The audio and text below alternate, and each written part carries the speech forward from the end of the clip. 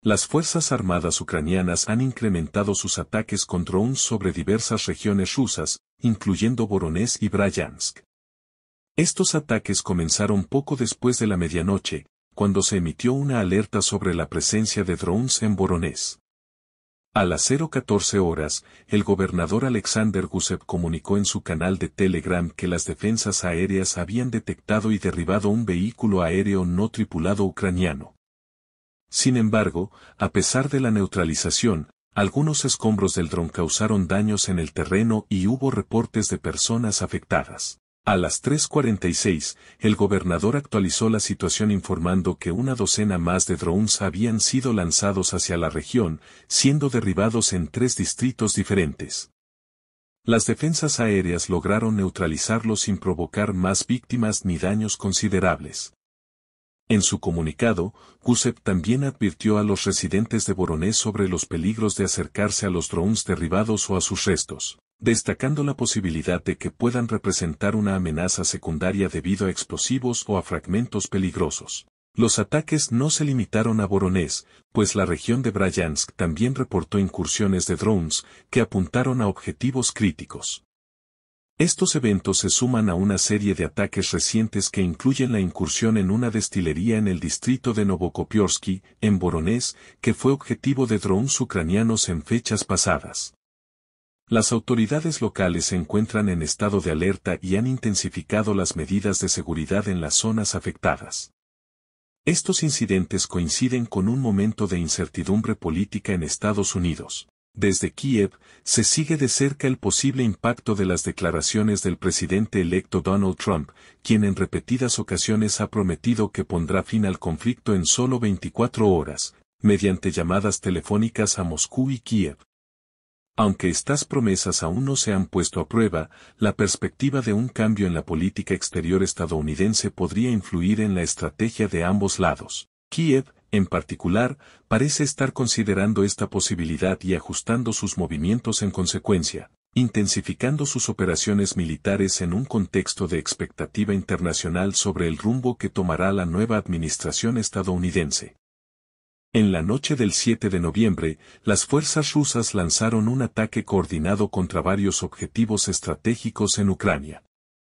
Las ofensivas se concentraron en Kiev y en su región, donde los ataques han sido recurrentes en las últimas semanas.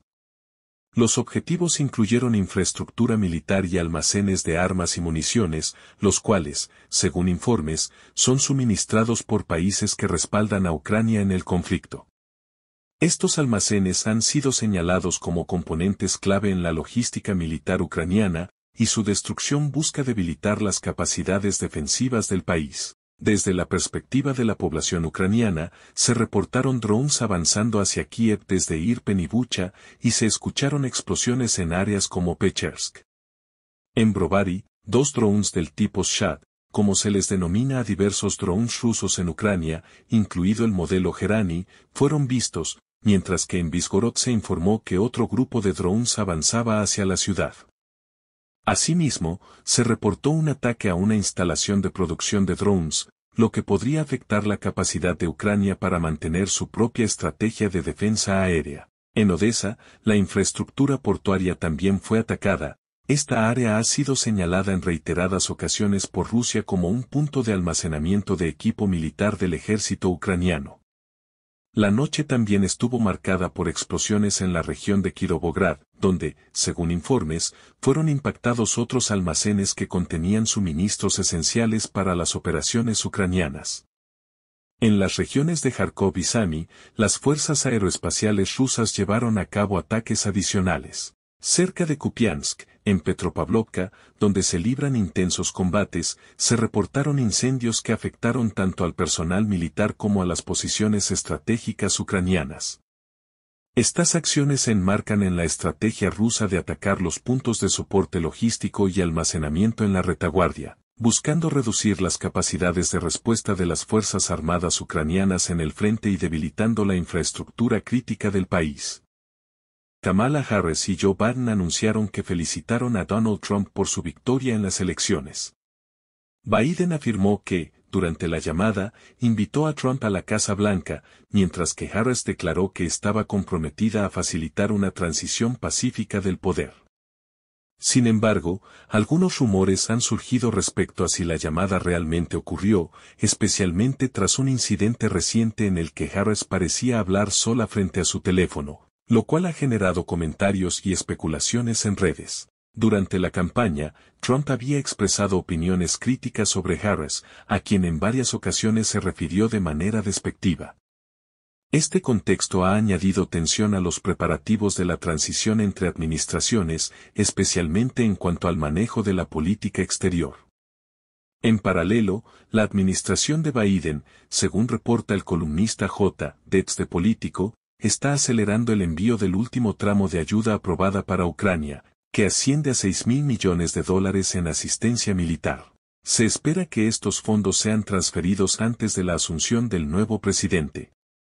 Fuentes de alto nivel en el equipo de Biden indican que la medida busca anticiparse a posibles cambios en la política exterior bajo la administración de Trump, quien ha manifestado su intención de limitar el suministro de armamento a Ucrania. Este movimiento también ha generado críticas y especulaciones. Algunos analistas opinan que gran parte de estos fondos no llegarán a Ucrania y que una porción considerable se destinará a la industria de defensa estadounidense. Según estas opiniones, la ayuda a Ucrania también beneficia indirectamente al complejo militar industrial de Estados Unidos, el cual se mantiene activo y financiado. En este sentido, algunos sugieren que, aunque Trump haya manifestado reticencias hacia la asistencia a Ucrania, es poco probable que se oponga a una medida que refuerce a la industria de defensa del país. En los círculos políticos de Ucrania ha cobrado fuerza el debate sobre los objetivos de las Fuerzas Armadas ucranianas en la región de Kursk, una zona estratégica en territorio ruso. Recientemente, la diputada ucraniana Besuglaya sugirió que el comandante SYRSKY estaba preparando el retiro de tropas ucranianas de esta área. Sin embargo, el Ministerio de Defensa de Ucrania rápidamente desmintió esta declaración. Este tipo de correcciones a comentarios de Besuglaya no es inusual, aunque en otras ocasiones sus afirmaciones en redes sociales han terminado reflejando eventos que luego se confirman, como la reciente renuncia de Saluzny. El consultor político Alexander Karoven se pronunció sobre esta situación, señalando que existe una expectativa, tanto entre ucranianos como rusos, de que la llegada de Donald Trump a la presidencia de Estados Unidos pueda reducir la intensidad del conflicto. Según Karevin, existe la percepción de que Trump tomará medidas para restablecer el orden en la región, lo cual podría influir en la estrategia ucraniana.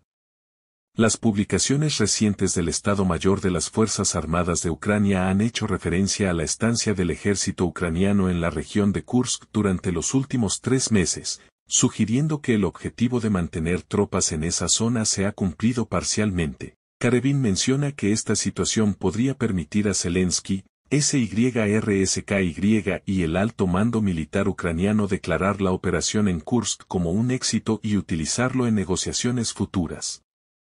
En este contexto, el objetivo principal de la incursión en Kursk parece haber sido mantenerse en la región hasta la elección del nuevo presidente de Estados Unidos. Kiev interpreta que Trump podría presionar para detener las hostilidades en la línea de contacto y, por tanto, la presencia militar ucraniana en Kursk podría convertirse en una ventaja estratégica para el gobierno de Zelensky en cualquier negociación futura.